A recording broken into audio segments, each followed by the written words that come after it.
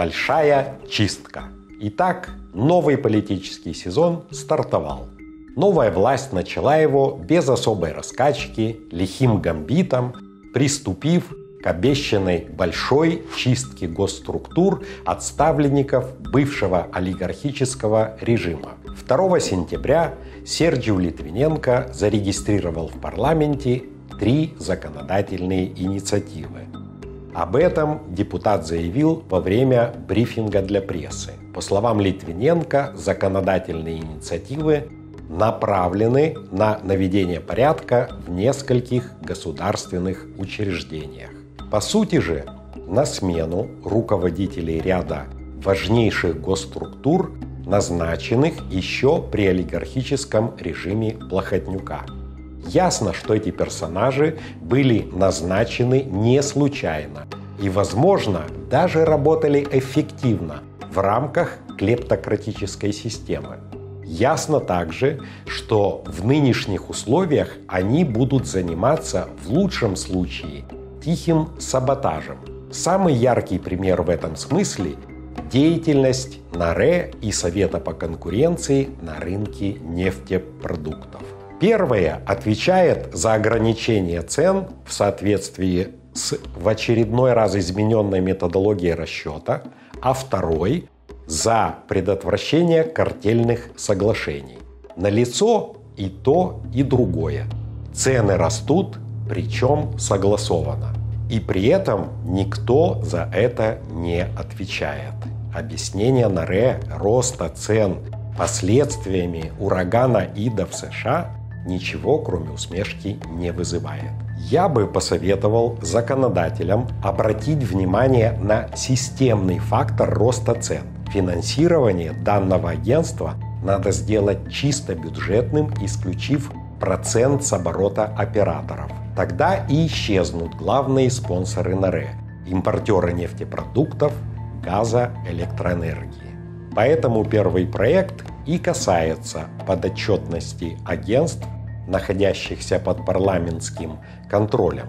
Это Совет по конкуренции, НАРЭ, Аудиовизуальный совет, Национальное агентство по рассмотрению жалоб и Национальная комиссия по финансовому рынку.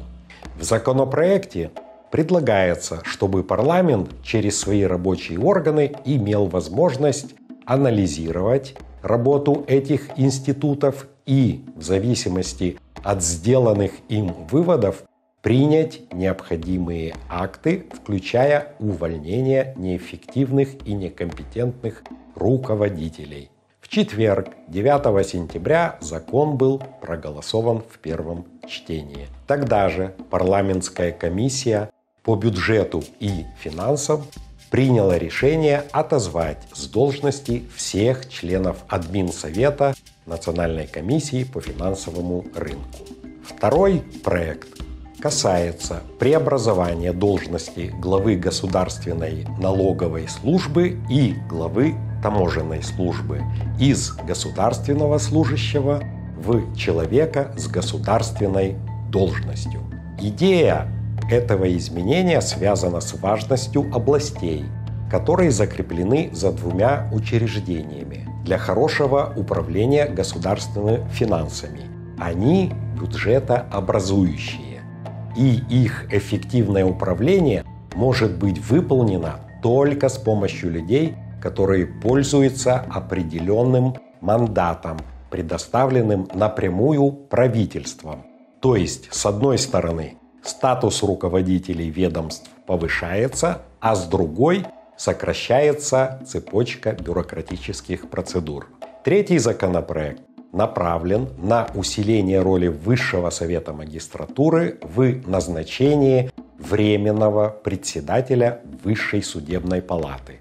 Это решение связано с тем, что судебная власть в последние годы превратилась в этакое государство в государстве. Даже если сейчас общественное внимание приковано к позиционной войне между прокуратурой и властью, именно судебная система ставит окончательную точку в юстиции. Поэтому изменения в Высшей судебной палате и в Высшем совете магистратуры абсолютно необходимы. Кроме перечисленных законопроектов, изменен способ назначения главы Национального антикоррупционного центра.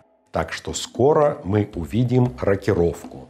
Скорее всего, длительная позиционная война с Генпрокуратурой продолжится какое-то время, но судьба решающего сражения уже предрешена. В общем, большая чистка, обещанная властью избирателям, идет уже полным ходом. Важно, однако, что переназначение фигур на ключевые должности является необходимым, но недостаточным условием успешного правления.